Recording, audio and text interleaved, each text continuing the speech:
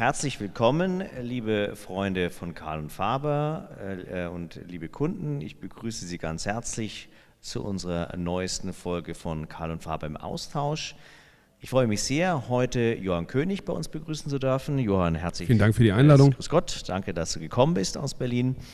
Und ähm, wir werden heute so ein bisschen eintauchen äh, in, in das Thema nicht so sehr Galerie, als vielmehr das Thema Sammeln und das aus der über, etwas darüber zu hören aus dem Munde eines berufenen Galeristen, den ich aber dennoch, obwohl die meisten von Ihnen den Namen Johann König schon gehört haben, denn er ist ja der Popstar unter den deutschen Galeristen, wie wir wissen.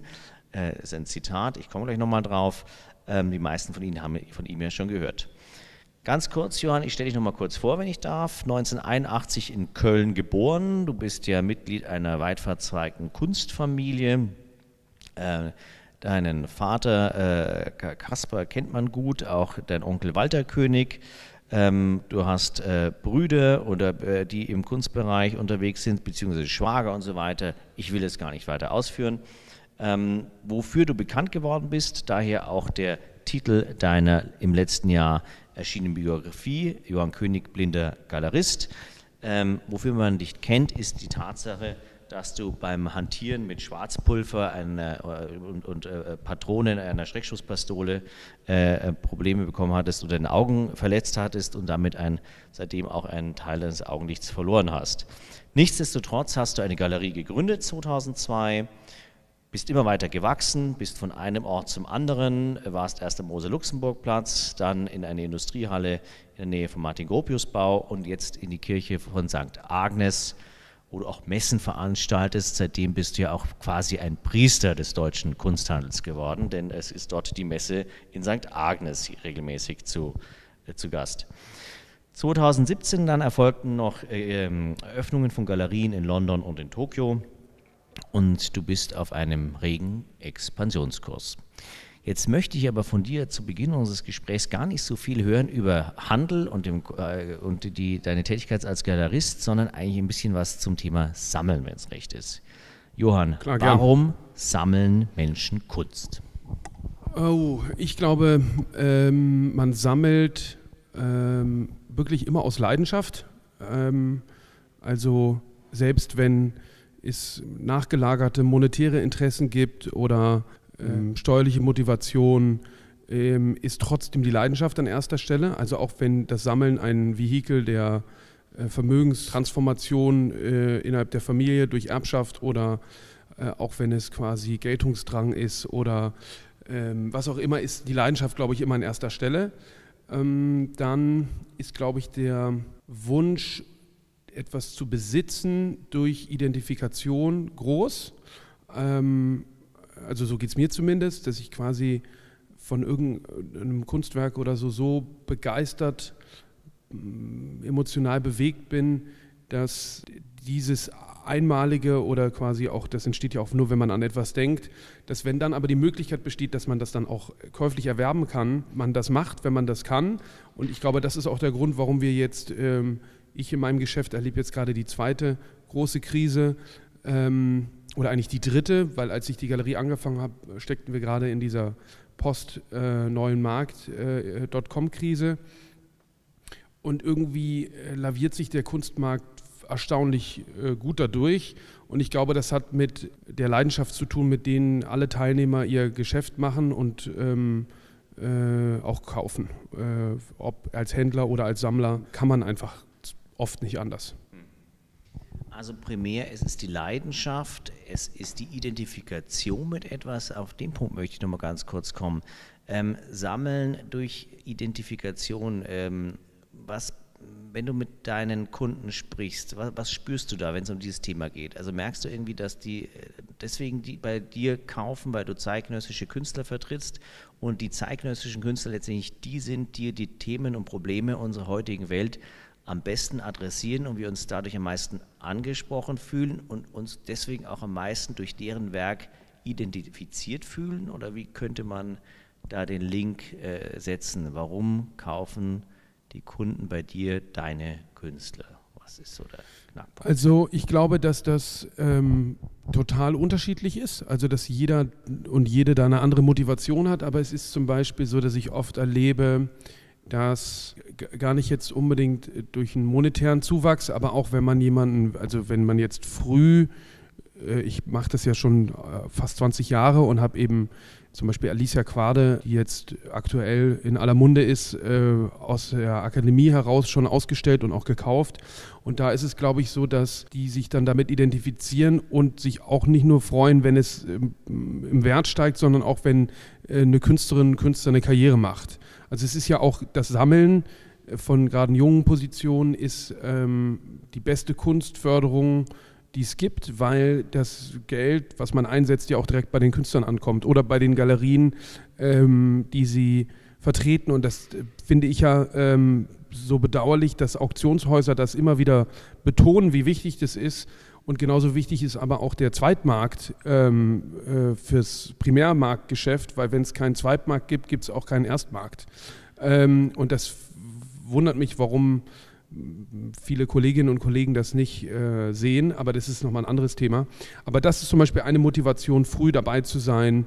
Ähm, die nächste ist aber auch oft ein sehr, äh, was ich jetzt gerade bei der Messe stark gemerkt habe, da hatten wir eben äh, zum Beispiel ein sehr bedeutendes Werk von Isa Genskin aus der Marin Collection, äh, wo ähm, ganz viel auch quasi über die unterbewertete äh, Situation von Frauen im Kunstmarkt dann gesprochen wird oder wie wichtig das ist, eben äh, absolute Meisterwerke zu erwerben und lieber ähm, darauf zu gehen und es Leute, es gibt dieses gute Beispiel da zum Beispiel aus äh, Chicago, ähm, jetzt fällt mir der Name nicht ein, der auch in The Price of Everything auftaucht, der hatte immer nur eine Sammlung von 100 Kunstwerken und wollte immer die besten Kunstwerke haben und immer, wenn er ähm, äh, zu dem Schluss gekommen ist, dass ein Kunstwerk besser ist als eins, also quasi bedeutender, relevanter ist als eins der 100, die er schon hat, hat er wiederum eins verkauft, um ein anderes zu finanzieren. Und ähm, so ist es natürlich so, wenn ich jetzt irgendwie an meine äh, gute Freundin Julia Stoschek denke, die hat sich zum Ziel gesetzt, ähm, die bedeutendste Mediensammlerin zu sein, was sie, glaube ich, auch äh, geschafft hat. Alle sind durch unterschiedliche Motivationen getrieben, aber es ist ein sehr äh, entrepreneurial äh, Approach meistens. Und ich glaube, das ist auch äh, zumindest etwas, abgesehen von den künstlerischen Positionen, die ich vertrete, ob primär oder sekundär, was Sammler äh, und mich verbindet, Sammlerinnen und Sammler und mich verbindet, ist eben auch so ein bisschen so eine Art von Unternehmergeist. Auch teilzuhaben an irgendeiner Entwicklung, in welcher Form auch immer. Unternehmergeist, weil da sich etwas eben gerade im zeitgenössischen Bereich ja etwas bewegt, sich etwas rührt und man möchte eigentlich mit bei etwas sein, was sich in eine positive, schöne Richtung entwickelt. Das höre ich raus. Und das andere genau. auch ein sozialer Aspekt. Schlicht und einfach, dass man einen bestimmten Künstler, eine bestimmte Künstlerin eigentlich auf ihrem Weg begleiten will und eigentlich durch den Ankauf ihrer Werke eigentlich auch unterstützen will, dass sie den auch weiter, weiter gehen kann, ihren Schaffensweg. Genau, einmal auf die, auf die, Künstlerinnen und Künstler bezogen, aber auch äh, auf, also wir haben das ganz stark in der Corona-Krise gemerkt, dass sich dann äh, eben Sammlerinnen und Sammler gemeldet haben und gesagt haben, wie können wir euch unterstützen, äh, können wir was kaufen? Mhm. Also richtig quasi, um auch zu, ähm, äh, und das fand ich sehr angenehm, dass es richtig eine Zusammenarbeit ist auf allen äh, Ebenen. Du sagst in einem Interview mit Collectors Agenda, dass du glaubst, dass deine Frau und du, ihr seid wohl bessere Berater als Sammler. Also ihr habt so ihr sammelt ja selber auch, habt einige hundert Kunstwerke zu Hause. Und da ist dieser, ist mir nur aufgefallen beim Durchlesen dieses Interviews, dass dieser Satz da fällt. Also du würdest sagen, es ist manchmal, warum ist es leichter, das hat mir auch über Anwälte, die sind sich selber die schlechtesten Anwälte, aber ist es, warum ist es leichter, jemand anderen zu beraten, weil die eigene Emotion etwas ausgestellt ist oder woran könnte sowas liegen? Ja, es ist zum Beispiel so, dass ich immer wieder mir vornehme, nicht so Kleinkram zu kaufen äh, und so im Vorbeigehen Editionen und Jahresgaben und irgendwie ähm, äh, Subskriptionseditionen äh, für Publikationen, weil das sind dann am Ende des Jahres auch wieder 20.000, 30.000 Euro, die man dafür ausgibt, für das man sich auch was so hätte Substanzielles kaufen äh, können. Und da ähm, bremse ich mich ähm, immer, wobei es auch manchmal eben schön ist, das einfach zu haben. Aber ähm, wenn ich Sammler begleite, äh, was wir ja tun für Firmen oder auch Privatsammlungen, dass quasi gemeinsame Entscheidungen getroffen werden, dann tut man das natürlich als professioneller Berater viel analytischer und sagt, du, wir haben uns das Ziel gesetzt, wir gehen äh, in die Richtung und jetzt kommen nicht bei jedem Städtereise mit irgendeinem äh, Kauf zurück, weil dann geht das Budget drauf und wir verfolgen nicht die Linie, die wir verfolgen wollten, auf die wir uns geeinigt haben. Also das Problem ist ja ganz oft, ähm, man will irgendwas von irgendeiner Position kaufen, bekommt nicht das Topwerk und kauft dann halt äh, ein Nebenwerk. Mhm. Und äh, da ist man irgendwie als Berater ähm, vielleicht ähm, freier, oder? freier oder, oder eben fokussierter, als wenn es eben so eine emotionale Sache ist. Ja? Oder man nimmt sich eigentlich vor, man schläft eine Nacht drüber und macht es doch nicht.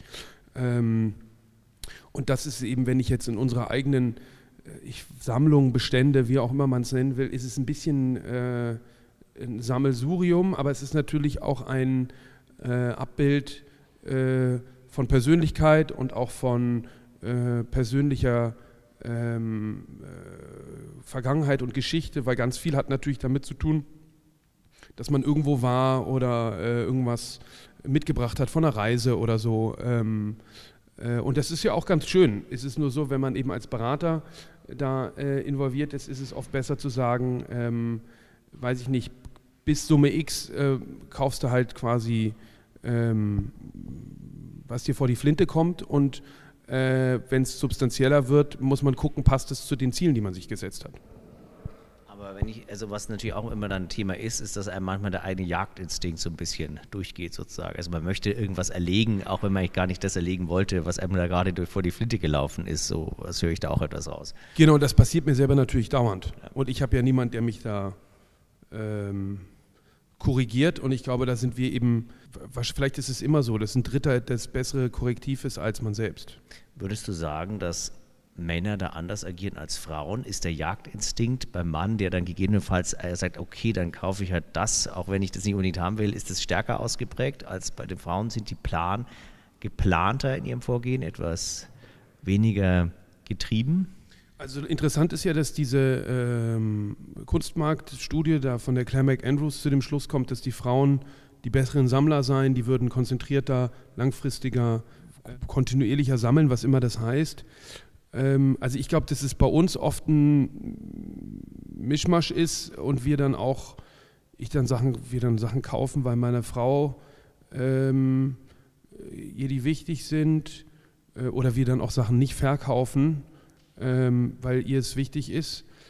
Aber es war zum Beispiel auch so, dass wir schon Sachen äh, dann installiert haben und gemerkt haben, unabhängig voneinander, äh, das ist ja auch ein bisschen das, warum ich auch oft Verständnis dafür habe, wenn Leute sich wieder von Sachen trennen, ist, man merkt ja oft, dass irgendein Werk auch nicht das ist, was man sich gedacht hat, was es für einen ist, wenn man ein bisschen Zeit damit verbringt. Dass es einem selber dann doch nicht so viel gibt, wie man das eigentlich beim Kauf erstmal vermutet hatte. Also es ist ja irgendwo, genau. man steht ja doch genau. im Dialog auch mit dem Kunstwerk, ja. was man. Äh, und, und, und dann gibt es Sachen, die vermisst man und es gibt andere, wo man dann äh, überrascht ist. Äh, und das ist dann, kann natürlich auch wieder eine Kraft sein. Da gibt es dann auch manchmal Editionen oder so, wo man ähm, sich täglich so darüber freut, dass äh, das nicht so eine große äh, Rolle spielt. Ich muss aber auch sagen, dass wir mit so viel Kunst dann gar nicht leben, weil wir kleine Kinder haben. Ähm, und äh, es ist aber auch für mich so als Händler, als Galerist kann ich gar nicht, aber das höre ich auch von vielen Sammlern, dass die gar nicht, ähm, ähm wenn man so tief drin steckt, kann man den potenziellen Wert oder die, die, die ganze Marktanalyse, die man automatisch da im Hinterkopf laufen hat, ähm, das ist wie wenn man ein paar Mal gebaut hat, kann man nicht durch ein Museum laufen, ohne Mängel zu sehen. Also das ist quasi, oder sich zu überlegen, wie haben die das gemacht oder jenes gemacht. Das ist, glaube ich, also ich weiß nicht, geht es dir auch so, dass du Deformation professionell. Also ja. man ist natürlich mit jedem Jahr, in dem man länger handelt oder sammelt, äh, wird man ja auch irgendwo anspruchsvoller. Also irgendwo, ich muss gestehen, es ist immer, das Level steigt immer weiter. Äh, auf, äh, wo man wirklich befriedigt ist von einer guten Arbeit. Und ähm, das ist manchmal fast undankbar, möchte ich sagen. Wird auch nicht immer dem Werk gerecht. Also man wird fast zu kritisch manchmal. Das ist das, was ich bei mir gespürt habe. Ähm, und, aber das ist für mich auch wie ein bisschen die Sprossen einer Leiter hinaufzusteigen. Man muss manche Sprossen gehen, um auch zu schauen, wie man weiterkommt, wo es weiter hingeht. Und letztendlich, äh, auch was du angesprochen hattest, äh, Sammeln oder jede Sammlung ist auch ein Stück Biografie. So wie wir uns verändern, auch und sich unser Kontext verändert, so verändern sich halt oft die Sammlungen auch mit einem dann mhm. gleichzeitig. Ja, ich bin halt auch manchmal überlegen, weil hin und wieder schafft man ja doch ähm, wirklich sehr relevante Sachen zu erwerben was dann überhaupt das quasi ähm, langfristige Ziel ist. Äh, ob man so nach Vorbild wie Bayerle äh, einen Ort schafft, äh, wo man Stück für Stück eben, ähm, äh, was ja sehr interessant ist, weil wenn man sich das anguckt, der war Händler, Sammler, hat einen unglaublichen Ort geschaffen, aber die Sammlung, auch wenn sie viel populärer ist, kann natürlich bei weitem nicht mithalten mit, dem Sammlung, äh, mit der Sammlung des Kunstmuseums Basel, obwohl es ein prominenterer Ort ist, der noch mehr Besucher anzieht. Ähm, und dann ist es eben so ein Hin und Her und dann verkauft man es dann doch wieder. Ähm, also jetzt quasi jetzt außerhalb des Galerieprogramms, sondern eben Handel, Sammeln, äh, das ist ja irgendwie ja eins. Äh, oder ob man dann doch sagt, ähm, auch jetzt mit Blick auf meine Geschwister und, den, und meinen Vater, soll man doch vielleicht mal eine Familiensammlung ähm, angebunden irgendwie denken, aber man kann mit den öffentlichen Museen ähm, in Anführungszeichen eh nicht mithalten und dann ist es in der öffentlichen Hand, glaube ich, in der Regel ähm, auch besser aufgenommen und da denke ich dann auch immer, was der Gerd Richter mal gesagt hat, eine gute Arbeit landet sowieso am Ende im Museum. Quasi auch wenn sie viel gehandelt wird, ähm, in der Regel denke ich, äh, stimmt das, was er da sagt. Ein, eine ganz komplett andere Frage noch gegen Schluss. Wir sind ja doch in den heißen Corona-Zeiten. Wer im Handel oder im Kunstbereich, im Kunstmarkt ist denn der Gewinner der Krise? Also ich glaube, dass ähm, die Auktionshäuser ähm, da ähm, auf alle Fälle einen Vorteil haben, weil ähm, wenn das nötige Vertrauen da ist äh, und die Professionalität über Condition Reports und ähnliches durch den vermeintlich oder häufig niedrigen Schätzpreis da sich irgendwie Chancen auftun. Und ich glaube vor allem durch die Transparenz. Ich glaube, das größte Problem, was wir im Primärmarkt haben, was durch Corona Gott sei Dank jetzt einen Schub bekommen hat, ist die, ähm, die Transparenz, die jetzt entstanden ist. Aber da müssen wir eben nachholen, ähm, weil das ist quasi das einzig Gute, was ich der ähm, Krise für den Primärmarkt abgewinnen kann, dass es jetzt eine transparentere äh, Preispolitik gibt, gezwungenermaßen, als sie vor der Fall war. Und ich denke, dass das ähm, ein Vorteil ist. Ähm, aber ich würde mal sagen, absolut die Verlierer sind die Messen. Und da darf ich einen Punkt zurückgeben. Ich glaube, was die Leute aber wieder mehr zu schätzen wissen oder was sie jetzt vermissen in der, in der jetzigen Zeit ist, und das ist etwas, was ihr besser liefern könnt als Galeristen, als wir als Auktionshäuser, ist eben das Erleben, was wir vorhin schon hatten, das Zusammen Leben, mitfiebern, äh, entwickeln mit einem Künstler, einer Künstlerin und die auf dem Weg begleiten, sie zu treffen und diesen persönlichen Bezug auch zum Schaffer des Kunstwerkes zu haben. Das ist etwas, was ihr liefern könnt, was die Auktionshäuser nicht so liefern können. Absolut. Und was vielleicht auch wieder der Gewinner ist, ähm, sind irgendwie besondere Galerieausstellungen. Äh, der Besuch bei uns zum Beispiel ist ein einmaliger aufgrund der Architektur oder auch ähm, bei, in vielen anderen Galerien äh, muss man leider sagen, je größer, desto besonderer ist der Besuch, weil natürlich ist irgendwie so eine kleine Rigips-Galerie jetzt nicht so eine Erfahrung wie ähm, St. Agnes oder auch bei den Kollegen Sprüt-Magers in dem ehemaligen Ballsaal oder so. Ähm, und das Erleben von Kunst in Architektur ist natürlich vom Künstler, von der Künstlerin komponierte Ausstellung, ist natürlich was anderes ähm, als quasi jetzt das Online-Bieten, sofern das möglich ist, äh, diese Ausstellung zu besuchen. Aber auf ohne Frage ist das Erfahren von, von Künstlerinnen und Künstlern in, der, in Galerien gemachter Ausstellung spannender als der Messebesuch. Insofern ähm, glaube ich, auch wenn wir jetzt vielleicht alle ein bisschen weniger Umsatz machen, haben wir auch weniger Kosten. Und eigentlich ist es für die Kunst besser, so wie es jetzt ist, als äh, zwölf Messen im Jahr zu machen. Schauen wir mal, was die Zukunft bringt. Vielen Dank. Bin sehr gespannt. Vielen Dank, Johann, dass du da warst. Danke.